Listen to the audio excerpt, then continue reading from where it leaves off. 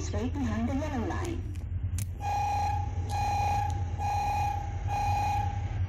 지금 열차가 들어오고 있습니다.